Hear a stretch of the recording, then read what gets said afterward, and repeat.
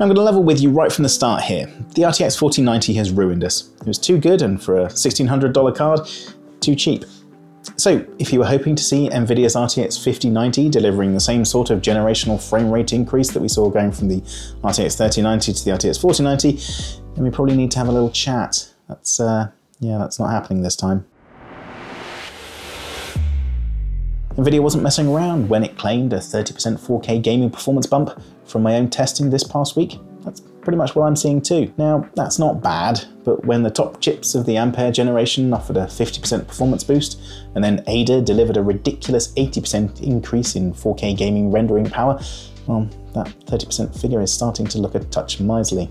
But the RTX 5090 is a new kind of ultra enthusiast graphics card, one that's been built both for an era of silicon austerity and AI dominance, and one that's begging us to be a little bit more realistic about our expectations. Luckily, the RTX Blackwell generation also comes with a magic trick, one that manufactures unfeasibly high, smooth frame rates out of thin air, and also comes with the promise of more in the future of this new era of neural rendering. The RTX Blackwell elevator pitch is that Moore's law is dead. We can no longer either get a doubling of transistors every couple of years, or alternatively, the cost of those transistors halving. At least, that's not what we're seeing with the $400 price bump of the RTX 5090 over the 4090. And if we can't realistically or economically continue to make ever more massive GPUs every other year to sate our demands for more graphics processing power, what do you do? According to NVIDIA, you make AI do the rendering grunt work for you. Yes, AI, it's always AI. DLSS was the first instance of neural rendering back when it was required to make ray tracing more palatable with the RTX 20 series Turing cards. It's now been updated in this generation to incorporate the same sort of AI model that's powering modern large language models, the Transformer. Frame generation is another piece of the neural rendering puzzle, and that again has been evolving with the RTX Blackwell cards. It's now capable of delivering up to three extra AI generated frames in between the two actually rendered ones. When you piece these two things together, we're now at a point where 15 out of 16 pixels in some games are being generated by AI rather than what NVIDIA is now calling, somewhat disdainfully, brute force rendering. Yeah, you know, rendering like an ape smashing two rocks together. But there is some extra hardware in this GPU making all of that AI stuff work, and it's not all about AI models and tensor cores. NVIDIA has jammed an enhanced module into the uh, RTX 5090's display engine, which means the CPU no longer has to get involved with frame pacing. This flip metering tech ensures all those extra frames get delivered to the screen in a smooth way, and not in a lumpy way, as NVIDIA's Bryan Catanzaro described it to us at CES. There's also a new AI model in there, making it 40% quicker in terms of frame generation and 30% lighter on VRAM, though this AI model removes the need for another lump of hardware the optical flow accelerator is no longer needed. Which, incidentally, could be good news for the RTX 30 series gamers, because the weaker optical flow silicon in the Ampere GPUs was one of the main reasons given for frame generation not being enabled on those older cards. Nvidia now says it would take more optimization and testing to get it working on 30 series cards, but notably it's no longer talking about a hardware lock. Those are the features of the new RTX Blackwell GPUs that we can enjoy right now, with pretty much every DLSS and frame gen supporting game able to be upgraded, either natively by the devs, as NVIDIA has made sure to keep compatibility with old DLSS versions, or via the NVIDIA app with its new funky DLSS override feature. Basically, if a game doesn't have multi-frame gen or the new DLSS transformer model in there natively, you can simply inject it via the new app. No, you don't even have to sign in. But there is some element of future gazing to this new architecture too, which promises to make the RTX 50 series even better over time. The biggest change to the actual GPU itself is the ability for the shader cores to now have direct access to the tensor cores. Those are the smart silicon lumps that do all the AI matrix processing for GeForce cards. But previously, they had to be programmed via CUDA, and now any programmable shader in the GPU can hit them with workloads. Features such as neural texture compression, which can lighten the load on your VRAM by up to 7 times, neural radiance cache to improve lighting, and RTX skin and RTX neural faces, which overlay AI-generated visuals over simple models for more lifelike effects, they're all promising technologies which could push computer graphics on hugely over the next few years. Equally, mega geometry could be massive for anybody wanting to go big with Unreal Engine 5 and Nanite, this allows them to dramatically increase the amount of geometry in a scene. It really has to be seen to be believed. Just check out the Zorah demo. It's potentially stunning what it could do in future games. And having experienced this demo running in real time in the RTX 5090, I was blown away. You'll have probably realised by now that I've not said word one about the actual GPU inside this graphics card. That's because fundamentally, not a huge amount has actually changed from the silicon of the Ada cards last generation. There are still 128 CUDA cores per streaming multiprocessor, though now all of those cores can be used to do either integer or floating point calculations, with no purely dedicated FP32 cores anymore. And it essentially looks the same when you take in the block diagrams too. The GB202 GPU at the heart of this RTX 5090 has 21% more transistors than the AD102 and a commensurate 21% increase in die size, because it's all on the same custom TSMC 4N production process. There are 21,760 CUDA cores available in the chip, which is a third more than the RTX 4090. Though, interestingly, this isn't the full top tier Blackwell GPU. The RTX 5090 has lopped off one full graphics processing cluster, leaving around 2800 CUDA cores on the cutting room floor. I guess that leaves room for a 5090 Ti or a Titan down the line if NVIDIA deems it necessary. You are getting the full complement of L2 cache, however, with near 100 megabytes available to the GPU. But then you're also seeing 32 gigabytes of fast GDDR7 memory too, on a proper 512-bit memory bus. That means you're getting a ton more memory bandwidth, 78% more than the 4090 could offer. It is, though, a much more power-hungry beast with a total graphics power of 575 watts, I've seen this card pulling down more than 600 watts at times. But this Founders Edition is pretty. Half the width of the previous RTX 90 class cards, it feels like it's sort of the same weight. Despite that, it still stays relatively cool and pleasingly quiet, peaking at just over 77 degrees centigrade in my open test rig. Though this dual blow-through design is going to mean you have to think about where you position your card in your PC. In my PC's vertical GPU mount, that would end up blowing a ton of hot air back over the processor and my motherboard. So now we come to gaming performance. This is the key, right? How does it actually perform in the real world? Well, in a word, brilliantly. I am only seeing the same sort of 30% frame rate increase that Nvidia itself was touting in terms of the straight 4K gen on gen rendering performance. Occasionally it's higher, occasionally a bit lower, um, I'm seeing around sort of like 25 to 40% in real terms. Below that 4K um, resolution, however, the hike is definitely lower. I'm seeing sort of like 12% and 20% respectively for 1080p and 1440p. But that's mostly because even though I've got the fastest gaming CPU in the world in my test rig, the AMD Ryzen 7 9800X3D, it becomes the bottleneck at 1080p and 1440p.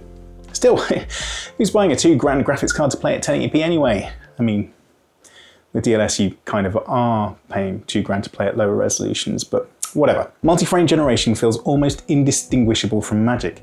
The new RTX 50 series only feature, for now, is working to stunning effect in the games I've been able to test it out in. Alan Wake 2 here goes from scraping 30 FPS at peak native 4K settings up to 180 FPS on average with DLSS quality and 4K MFG. Now, latency is key, right? That's the biggie with FrameGen. You're rendering two frames and then backfilling the space with now up to three extra AI-generated frames. So surely you'll get a ton more input lag. In my head, it seemed to make sense that the more frames that the GPU generates, the more lag that you'd get. Uh, no, not a jot. You get practically the same latency for two times frame gen as with three and four times. And considering that I was getting 93 milliseconds of PC latency at 4K native in Alan Wake 2, the fact that that drops down to 66 milliseconds with DLSS and 4 times multi-frame gen, well, that's frankly psh. That's also as bad as it got in my testing when it comes to frame gen latency. In Cyberpunk, I went from 34 FPS and 54 milliseconds of latency up to 215 FPS and down to 43 milliseconds of PC latency. Then in Dragon Age Veilguard, where MFG was enabled via the DLSS override feature, my frame rate went from 81 FPS and 28 milliseconds at native to 315 FPS and 32 milliseconds with DLSS quality and 4 times frame gen. Okay, that is just a handful of games, and if those were the only ones available at launch, MFG would not be the able panacea to the 5090's somewhat limited rendering performance bump that it is. But with fully 75 games and apps ready to roll when your RTX 5090 arrives at your door, most of the best games, and certainly the most demanding ones, will be rocking MFG natively or through the NVIDIA app on day one. Now it's important to say straight off the bat though that frame generation is not perfect. As good as it is, there are still some instances where it doesn't quite look as good as native rendering. I mean, that's inevitable.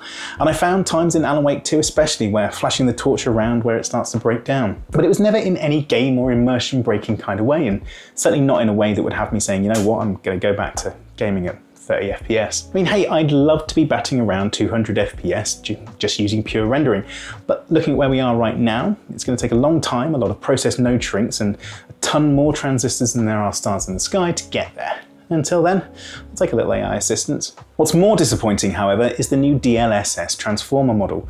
We were promised that it was going to deliver a more consistent, stable level of image quality both for ray reconstruction and for upscaling, and it does for the most part. There is still some ghosting visible with ray reconstruction even with the transformer model enabled, but it also introduces some other weird artifacts. Text, as anyone familiar with AI image generation will know, is kind of tricksome for a transformer, and so it is with Alan Wake 2 at the computer. It just looks damn weird. There are other instances though where it looks great.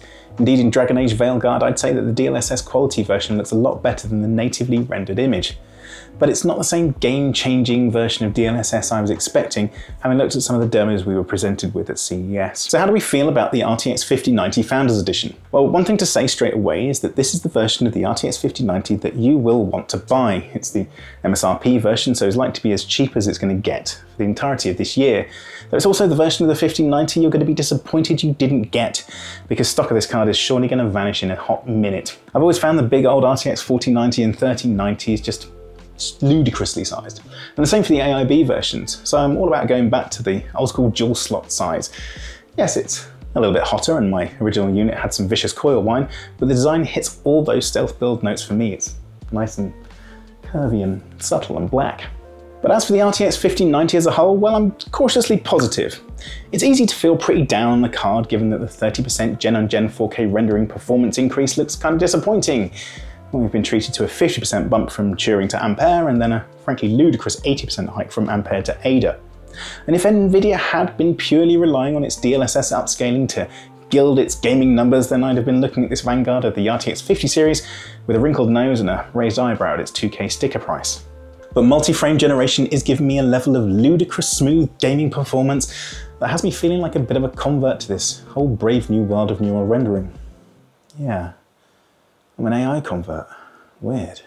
As much as there are the occasional, surprisingly so, artifacts associated with FrameGen, the latency even at 4x isn't an issue in any of the games I've tested and never made me want to turn it off.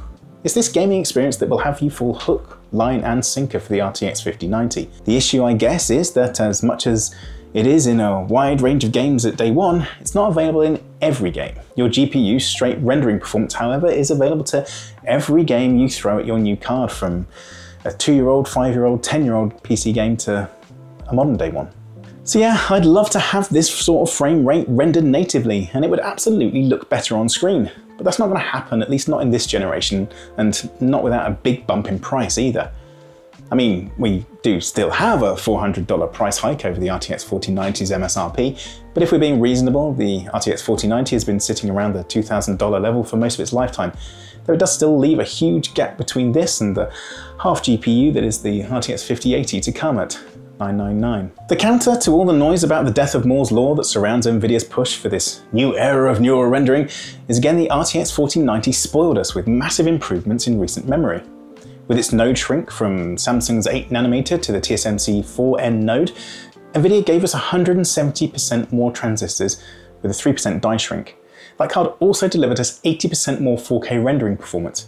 So it's hard not to think that when NVIDIA switches to a nominal 2nm production node eventually, it could still produce that sort of rendering performance bump, whether Gordon Moore's casual rules of economics are toast or not.